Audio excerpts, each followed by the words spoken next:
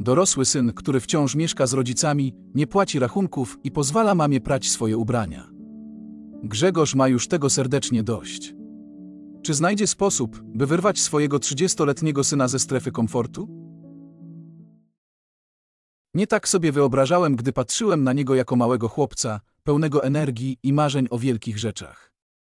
Artur zawsze był inteligentny i bystry, a ja miałem nadzieję, że wykorzysta te cechy, aby w przyszłości zbudować coś własnego.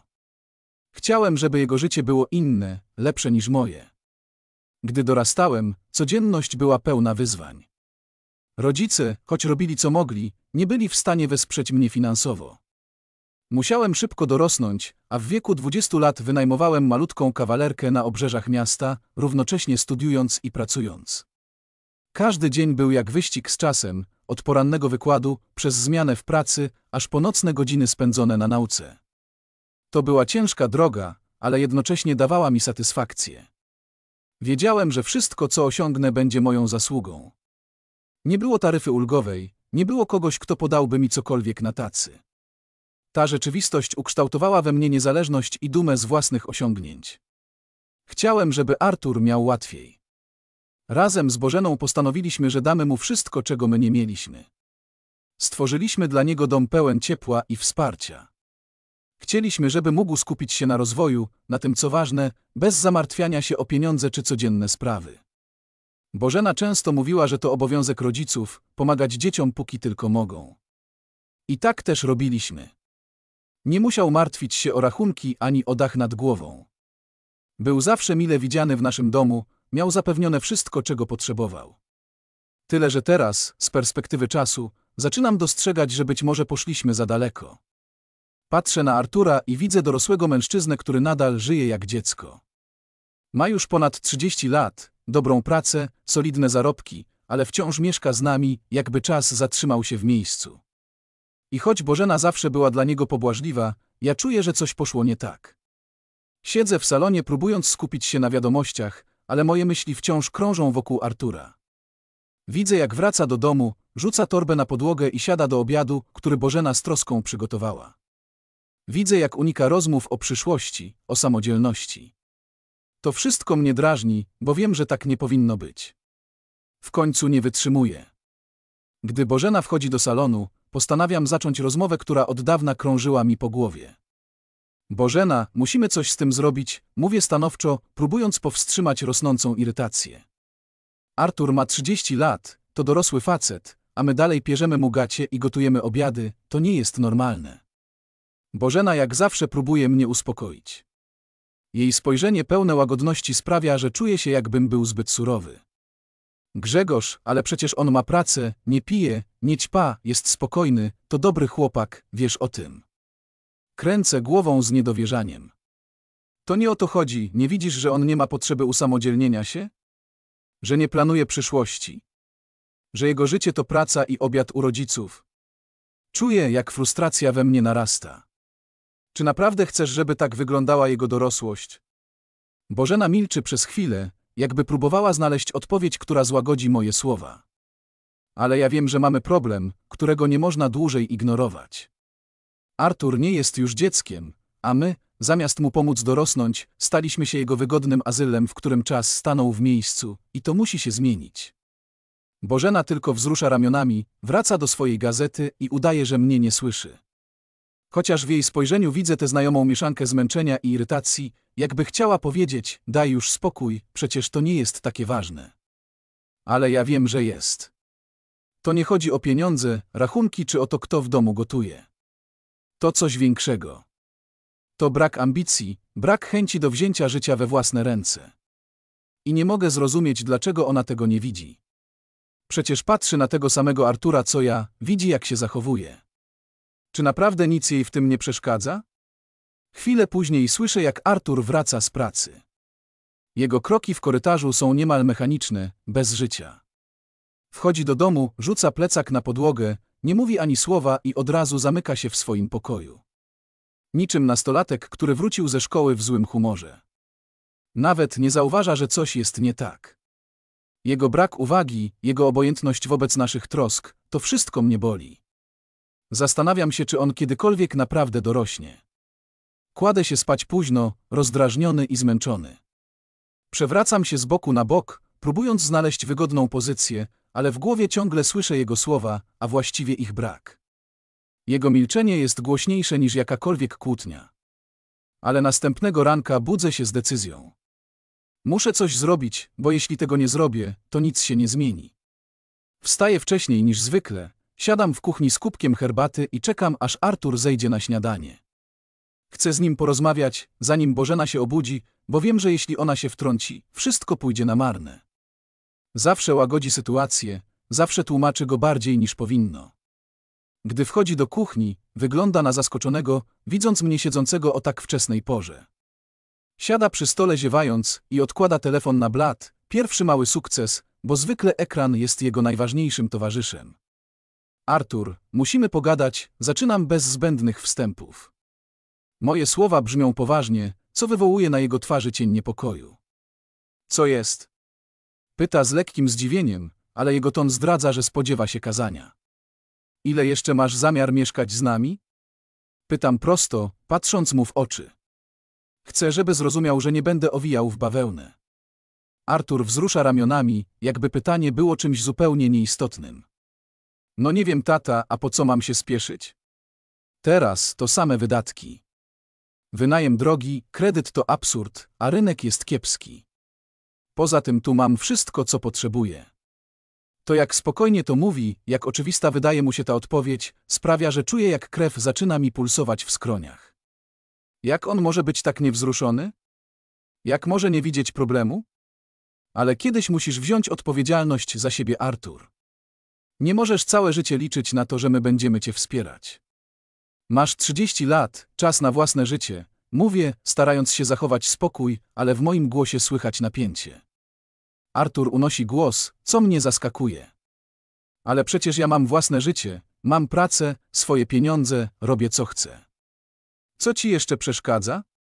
Czuję, jak frustracja we mnie narasta.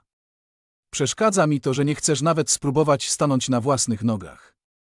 Wynająć mieszkania, być odpowiedzialnym za swoje sprawy, za rachunki, za wszystko. Przez chwilę milczy, patrząc na mnie z mieszanką zdziwienia i irytacji. W końcu kręci głową, jakby chciał powiedzieć, że to wszystko nie ma sensu. Tata, teraz nie jest dobry moment, może za jakiś czas. Pieniądze trzeba odkładać, rynek jest trudny, nie chcę rzucać się na głęboką wodę. Mam ochotę uderzyć pięścią w stół, ale zamiast tego mówię spokojnie, choć każda sylaba pali mnie w gardło. Ale życie to jest głęboka woda. Kiedy twoim zdaniem będzie dobry moment? Nie odpowiada, tylko wzdycha ciężko i wychodzi z kuchni. A potem jeszcze idzie do Bożeny i skarży się na mnie, jakbym to ja był problemem. Znowu czuję się jak drań. Może rzeczywiście przesadzam, może te czasy są trudniejsze. Bożena ma rację, mieszkania są drogie, wynajem kosztuje fortunę, a praca nigdy nie jest tak stabilna, jakbyśmy tego chcieli. Ale przecież ja też miałem podgórkę. Też zaczynałem od zera. Więc dlaczego on nie może? Może to ja go tak wychowałem? Może to wszystko moja wina? Artur jak co wieczór wraca do domu cicho i niemal niezauważalnie. Drzwi zamykają się z delikatnym kliknięciem, jakby chciał uniknąć jakiegokolwiek hałasu, który mógłby ściągnąć na niego moją uwagę. Kroki są ledwie słyszalne, kierują się prosto do jego pokoju. Tam, za zamkniętymi drzwiami znika na resztę wieczoru, tak jakby dom był tylko przystankiem na jego codziennej trasie między pracą a łóżkiem. Siedzę w salonie, słyszę ten znajomy rytuał i czuję, jak frustracja znów zaczyna się we mnie zbierać. Patrzę na Bożenę, która przegląda jakiś magazyn, całkowicie obojętna na to wszystko. Czasami mam wrażenie, że tylko ja w tym domu naprawdę martwię się o naszą sytuację. Ona i Artur zdają się żyć w jakimś dziwnie beztroskim świecie, jakby problem nie istniał. Przypomina mi się rozmowa, którą odbyłem z Arturem jakiś czas temu. Powiedział mi wtedy, tata, nie rozumiem czemu ci to przeszkadza. Mam pracę, nie biorę od was pieniędzy, to czemu miałbym się wyprowadzać? W jego głosie nie było ani cienia złośliwości, tylko szczere zdziwienie, jakby naprawdę nie pojmował, dlaczego jego życie w rodzinnym domu mogłoby być problemem. I w tych słowach kryje się sedno wszystkiego, co nas dzieli. Dla niego samodzielność kończy się na tym, że ma pracę i nie potrzebuje kieszonkowego. Ale co z resztą? Co z odpowiedzialnością za własne rachunki, sprzątanie, gotowanie, planowanie budżetu? Co z doświadczaniem życia takim, jakie jest naprawdę, pełnym wyzwań, w których człowiek musi radzić sobie sam? Artur nigdy nie musiał tego robić. Wszystko było zawsze gotowe, podane na tacy. Czy kiedykolwiek zrozumie, czym jest prawdziwa dorosłość? Następnego dnia siedzimy przy stole na śniadaniu. Tym razem w trójkę. Bożena rozmawia z Arturem o jakichś błahych sprawach, czy widział ten nowy film, czy planuje gdzieś wyjść w weekend. Wszystko brzmi tak, jakby życie było idealne, jakby niczego nam nie brakowało. A ja czuję, jak we mnie narasta coś, czego nie mogę dłużej tłumić. W końcu przerywam im rozmowę. Artur, dosyć tego, mówię nagle, nie owijając w bawełnę. Ile jeszcze to potrwa? O co ci chodzi? Odpowiada spokojnie, choć widzę, że spodziewał się tej rozmowy. Jego twarz jest obojętna, ale w oczach widzę lekkie napięcie. O to, o czym już rozmawialiśmy, odpowiadam, starając się nie unieść głosu. Czas się usamodzielnić, chłopie, nie obchodzi mnie, jakie masz wymówki, wyprowadzasz się i koniec. Starając się być stanowczy, zauważam kątem oka, jak Bożena patrzy na mnie z dezaprobatą. Jej spojrzenie mówi mi, że znowu jestem tym złym, że przesadzam. Ale nie zamierzam się wycofać. Tata, znowu zaczynasz. Artur wzdycha teatralnie, jakby miał do czynienia z dzieckiem, które nie rozumie rzeczywistości. Przecież mówiłem ci już, że teraz nie jest dobry moment. Wynajmowanie mieszkania to szaleństwo, a kredyt hipoteczny? Nawet o tym nie myślę. Ale ty wcale nie chcesz się wyprowadzić, przerywam mu, tym razem nie kontrolując już swojego głosu. Ciągle tylko wymówki, zawsze coś jest nie tak. A to oszczędzasz, a to rynek zły, a to coś jeszcze. Powiedz mi co dalej? Za pięć lat też będziesz mówił, że to nie jest dobry moment. Grzegorz, uspokój się, wtrąca Bożena, kładąc rękę na mojej dłoni w geście, który ma mnie uspokoić. Ale zamiast tego tylko jeszcze bardziej mnie irytuje. Nie Bożena, odzywam się, ignorując jej próbę załagodzenia sytuacji. To nie może tak wyglądać, zbyt długo się z nim pieściliśmy, zbyt długo robiliśmy wszystko za niego. I co? I proszę, mamy teraz w domu trzydziestoletniego faceta, który dalej jest na naszym garnuszku. Nieudacznika, który nawet nie próbuje się usamodzielnić. Bożena spogląda na mnie ze złością, ale Artur unosi ręce w geście obronnym, jakby chciał powiedzieć, że ta cała sytuacja go nie dotyczy. Nie jestem nieudacznikiem, tata, odpowiada cicho, ale jego głos zdradza, że coś w środku zaczyna go jednak uwierać.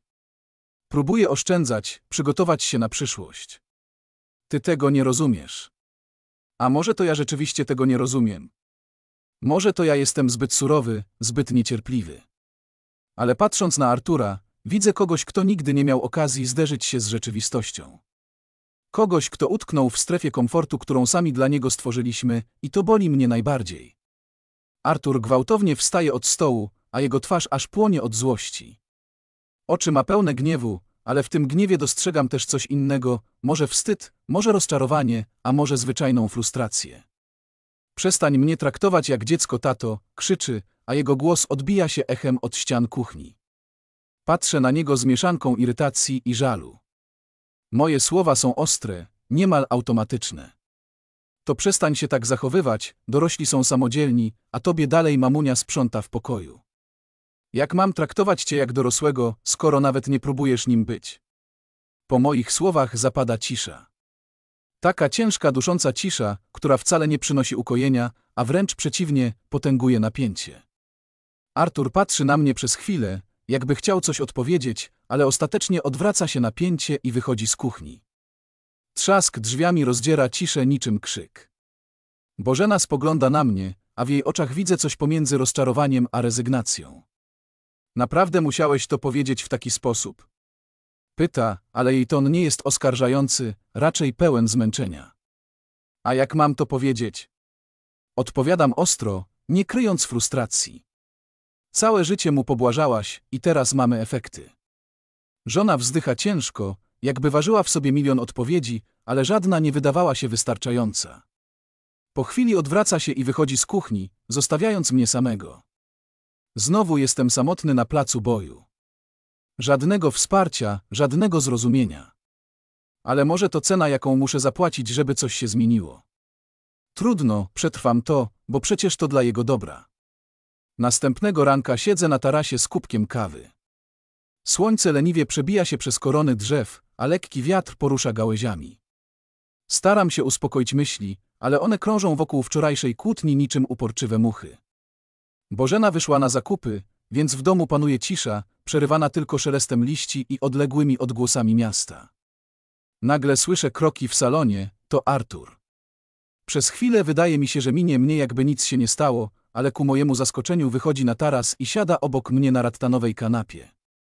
Nie patrzy na mnie od razu, tylko wpatruje się gdzieś w dal, jakby szukał odpowiednich słów. Milczymy przez dłuższą chwilę, a ja czekam, dając mu przestrzeń. Tata zaczyna w końcu cicho, niemal szeptem. Przepraszam, że tak wyszło wczoraj, nie powinienem był tak na ciebie krzyczeć. Patrzę na niego, ale nie przerywam. Wiem, że ma coś więcej do powiedzenia, jego ręce spoczywają na kolanach, a palce nerwowo bawią się SKRAWKIEM jego koszuli. Po prostu kontynuuję, ja się boję, że sobie nie poradzę. Wszystko drożeje, wiem jak ciężko mają moi znajomi, którzy wynajmują mieszkania. Kredyty są absurdalnie drogie, a jak coś się posypie, to człowiek zostaje sam. Przytłacza mnie to, rozumiesz? Słysząc te słowa, czuję jak coś we mnie pęka. Moja frustracja ustępuje miejsca zrozumieniu. W końcu widzę, że za jego oporem kryje się coś więcej niż lenistwo czy brak ambicji. To strach. Strach przed nieznanym, przed odpowiedzialnością, przed porażką. Synu, rozumiem, że się boisz, mówię spokojnie, kładąc rękę na jego ramieniu. Ale musisz zrozumieć, że jesteś w znacznie lepszej sytuacji niż większość ludzi, którzy zaczynają żyć na własną rękę. Masz pracę, która daje ci stabilne dochody. Masz już pewną pozycję w firmie, to nie jest skok na głęboką wodę bez przygotowania. Chodzi o to, żebyś spróbował. Żebyś zobaczył, że możesz sobie poradzić. Artur kiwa głową, ale w jego oczach wciąż widać wątpliwości. Wiem, że masz rację. Ale jeszcze trochę, dobra? Jeszcze trochę czasu, żeby to wszystko poukładać w głowie. To nie jest to, czego chciałem usłyszeć, ale jednocześnie czuję, że to krok naprzód. Może mały, może niepewny, ale jednak krok. Patrzę na niego i po raz pierwszy od dawna widzę nie tylko dorosłego mężczyznę, który utknął w miejscu, ale także mojego syna, który próbuje zmierzyć się z własnymi lękami. Może to początek czegoś lepszego. Może.